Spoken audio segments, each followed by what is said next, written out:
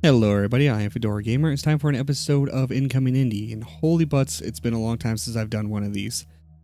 That'd be pretty much because I, I fail. But we are looking at Cavern Kings Beta, which is available on Steam Early Access for $10. Let's go ahead and jump right into it. We're going to play Standard Mode. I've not actually messed around with Arena Mode, but we'll just play Standard.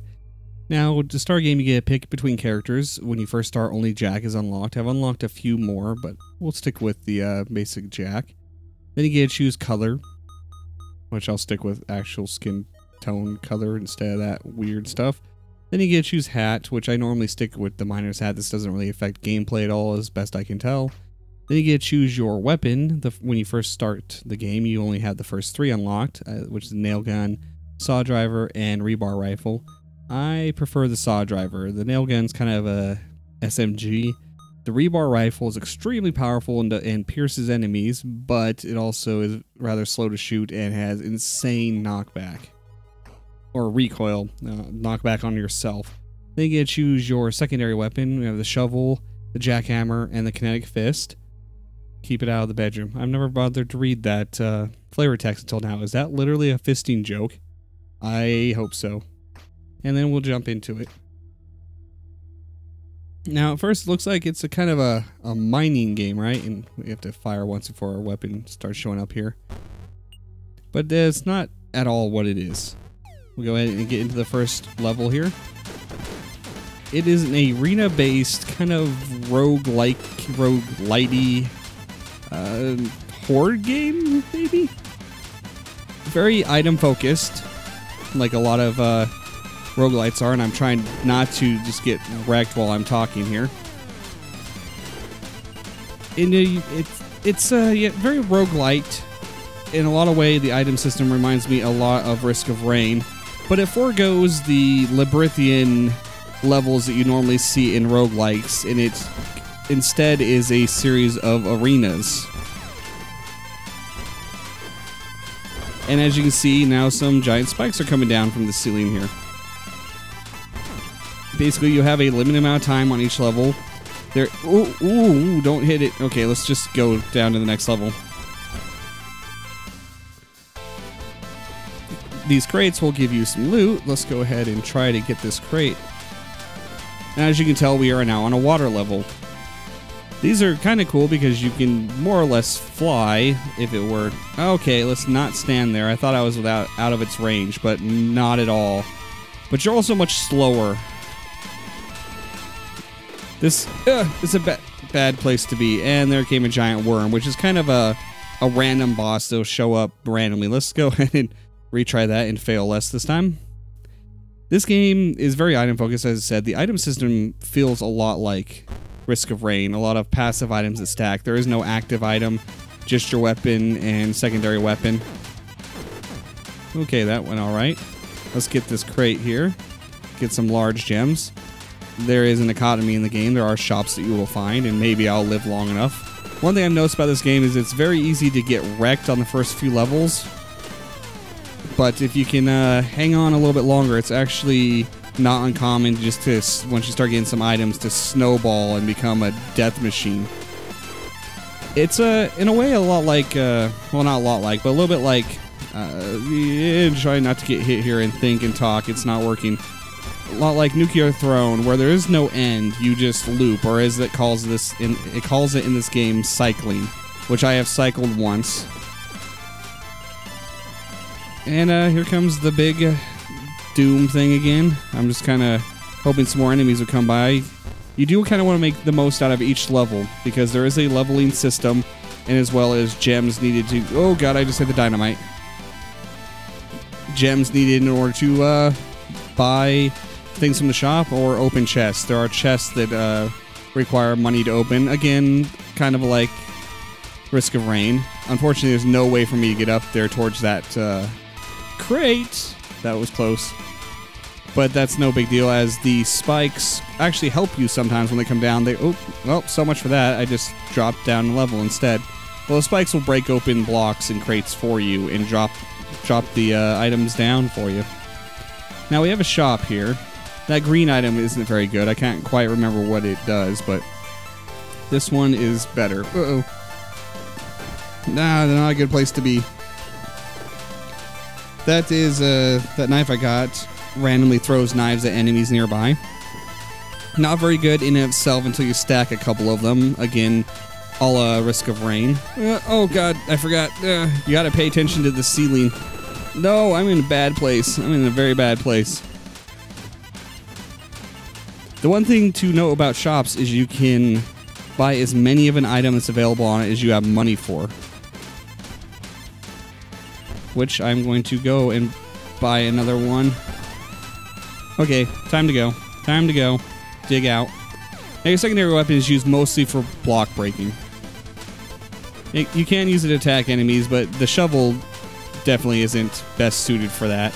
So the other ones kind of are, but yet I find them worst at just breaking blocks with with any kind of accuracy. I mean, jackhammer's good for it as well, but I don't know. For some reason, I just like the shovel. Stick with the classics, you know. I need those health upgrades. And there's spikes down there on the floor. Spikes, the worst enemy in the game. What, what you can do is you can just break the block underneath them and get rid of them. It gets very, very chaotic very, very quickly. Let's uh get to this crate here. Yes, health, I need that.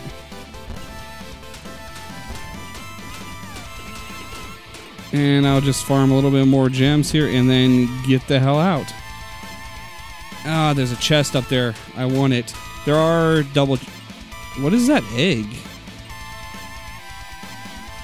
Uh-huh.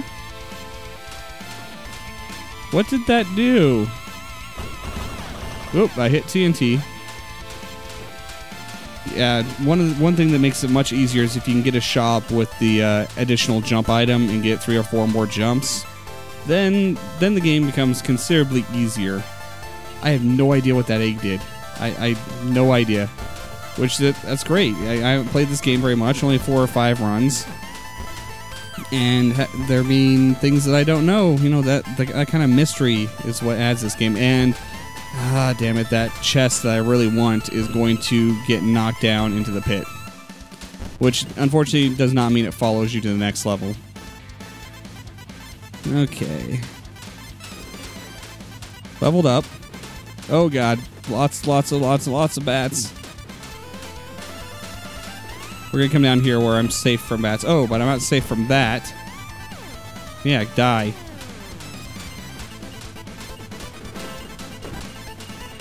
The traps are some of the nastiest things in this game. I'm kind of pinned down here. I don't like that. There is no crates or anything of value that the uh, the big ceiling of spikes will open. Oh, yes, there is. Where'd that chest come from? Um, where'd that chest go? There it is. Open it. Oh, we got another dagger. Ooh. I do need that health. Thank you very much. I did not need a fireball to the back of the head. Eh, okay, let's time to get out of here. Ooh, a shop. This uh, certainly increases gem discovery. That's always a good thing to grab a couple multiples of for the, the long game, for the long haul. I don't like being up here with that dynamite, so I'm going out of here. Plus, there are crates down here. Crates are good. The uh, saw the saw driver is quite useful against the snake things. You can nail like every part of their body with a single saw blade. Let's get the health. Not a whole lot of items yet. Ugh. The items come a little slow. So what do I think about so far? I am quite enjoying it. It's still in beta, and if you have an aversion to early access and aren't don't want to pick it up and are going to wait and see kind of thing, I that's a good attitude to have, really. But I am not opposed to buying early access games myself. So, if you think this is interesting, it's ten dollars on Steam, and if you want to wait and see, I just recommend keep an eye on it. I do wish there's a little more variety to the gameplay, maybe some secret levels, secret doors, you know, secret rooms, whatever you want to call them, since it is just down another arena, down another arena but it is still in development, and I I'm sure there'll at least be more some more variety in some way or another once the game is finished. And now I'm just trying not to get overwhelmed. Oh god, spike things falling on me. Ooh, ooh, geez, that's a lot of dynamite. Oh, and there we go. I do want the crate. Or the chest, excuse me. Aha, missiles. Randomly shoots some missiles. Oh god, that did not feel good. Okay. I don't like you guys being up there. I can't really get up there. I need my extra jump items. There are some, uh, you will start seeing later levels, some champion type enemies. Different colored, glowing, lightning, sparking. Not a good place to be. Lightning shooting out of them. And they do have a chance of dropping you some uh, items, which is a nice way to get some bonus items. Okay.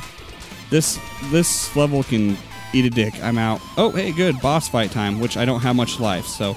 Oh god, yeah, that spike block hurts you just kind of touching it. Give me some life. Well, some money. Ooh, that's close. This isn't the best weapon for this boss fight since he flies and it doesn't have the greatest range. Though the uh, nail gun has, I think, less range when you're counting the arc. The rebar gun, a lot more range. Stuns enemies when an elite monster dies. That one's not particularly useful. I've already gotten the gem serum a few times, so we'll pick up one of the eyes here, which gives us uh, attacks reduce armor, which is particularly useful on bosses. And now we're down to a new area with a new song. I will mention that the music is kind of fantastic in this game. Unfortunately, without any additional jumps, I still can't get up to a lot of the crates and items. A level up is nice though. We'll go we'll take that.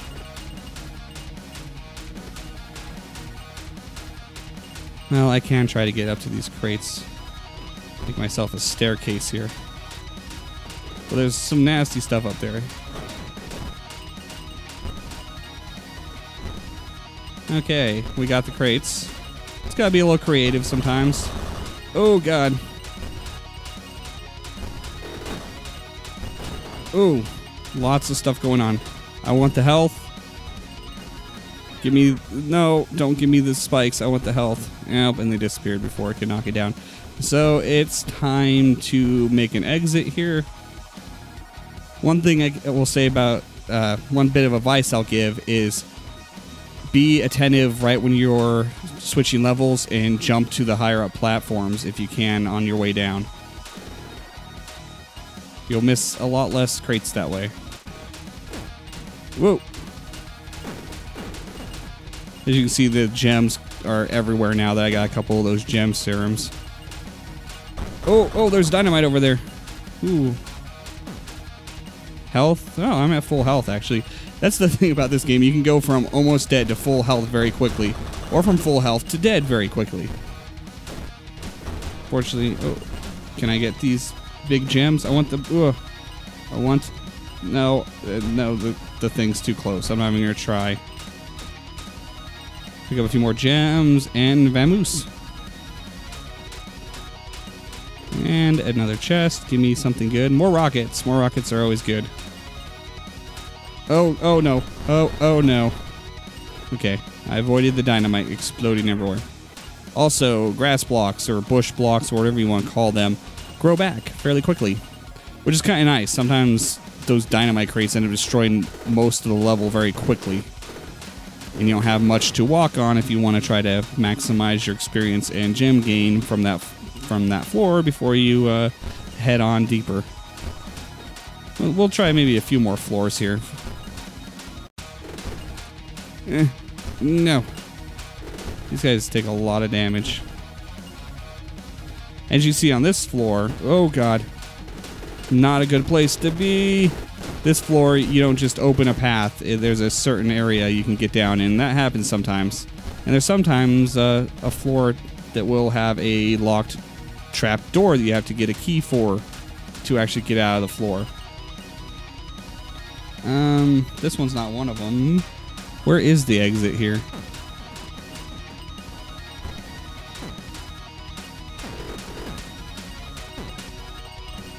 Oh, it's over there. Why? How did I not see that? Uh. Go, go, Rockets. So now this is the start of a good snowballing effect. I could probably make this into a pretty good run. Maybe cycle once, though last time I thought I was going to definitely cycle, I uh, made one wrong jump into a crowd of enemies and got just wrecked almost instantly. There is not much for iframes after getting damaged. There is an item that will increase your iframe duration after taking damage, which is very good to have, but it's like a hundredth of a second iframe, so you can get bodied very hard in this game. And there's more items. I guess I can get another gem serum since there's nothing. I was hoping for something that increased damage and or just death dealing potential. Oh, we got a. Uh, we have a very fast champion there. Oh, since I killed the elite, it stunned all them. That's the, the effect there elite champion, whatever you want to call them. I guess the, the game calls them elites, so we should probably go with that. I can't really get up to that shop because it's just a death zone of freaking bats. Once you start getting smacked around in air, they just juggle you. Okay. I, yeah, I'm probably not going to get any items out of that. There's so many gems up there, though. Come on, knock them down. Knock them down. Now, I can't really get to the big ones, so we'll head down one more level. Oh, hey, spikes, you, asshole. Okay, we'll take out this crate. Oh. Being near the edge of the level is actually not a good place to be. Enemies can fly in at you without you having... Oh, God, more spikes. Much time to react. There we go. That's got to be all the spikes, right? Oh, okay. It's kind of a gem Nata down here. Okay, come on down, spiky guys. As long as you're not falling on my head, I'm fine because you are just easy gems. Hope we have a champion. Elite. Whatever the bloody hell you want to call it. Nope, no item from him, unfortunately. I believe it's time to get out of here. See if we can get another boss, maybe? Nope. The bosses don't seem to be at set durations. They seem to be kind of random on how, on what levels you get the boss. I do want this, another harp. I don't know how that effect really stacks. So since it only triggers on elites, and it seemed to stun everything on the screen, so I don't think that one really stacks very well. Eh. All right, well, I think you've probably seen enough of this. I don't want to spoil too much of it. You want to go and discover the bosses yourself. This has been Cavern Kings. Is available for $10 on Steam Early Access. If you're interested, link will of course be in the description. I'm Fedora Gamer. If you like this video, please like, comment, and subscribe, and I'll see you guys next time.